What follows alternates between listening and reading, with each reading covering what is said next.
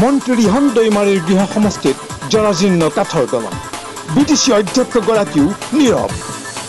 অসম চৰকাৰৰ কেবিনেট মন্ত্ৰীৰ তিনিবাৰকৈ আসন অলংকৃত কৰা ওদালগুৰি জিলা তথা ওদালগুৰি বিধানসভা সমষ্টিৰ বিধায়ক ৰিহন দৈমাৰীৰ এলেকাধীন হৰিশিঙাৰ পৰা কোচপাৰা আম্বাগাঁও সংযোগী বিষাইটি নদীৰ ওপৰত বিধ্বস্ত কাঠৰ দলঙেই যাতায়াতৰ একমাত্ৰ ভৰসা।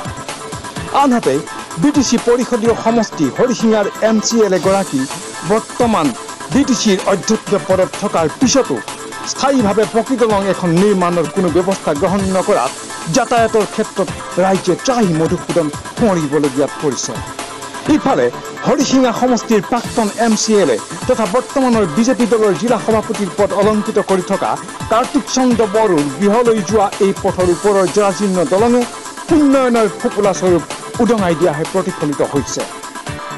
জানিব পৰা মতে দুহেজাৰ চৈধ্য চনতে তদানীন্তন M C A Kartik Chandra বড়োই কাঠৰ দলংখন মেৰামতি কৰি যাতায়াতৰ বাবে সুচল কৰিছিল যদিও অদ্যপি দলংখন যাতায়াতৰ ক্ষেত্ৰত অনুপযোগী হৈ পৰিছে। স্থানীয় ৰাইজৰ অভিযোগ অনুসৰি দলংখনৰ খুঁটাসমূহ দুৰ্বল হৈ পৰাত যিকোনো সময়ত দুৰ্ঘটনা সংঘটিত হোৱাৰ সন্দেহ প্ৰকাশ কৰে। অতি শীঘ্ৰে দলংখন পকীকৰণ কৰি যাতায়াতৰ সুচল কৰি দিবলৈ চৰকাৰখনক দাবী জনাইছে। ওদালগুৰিৰ পৰা Dipak Deka N E three six five live.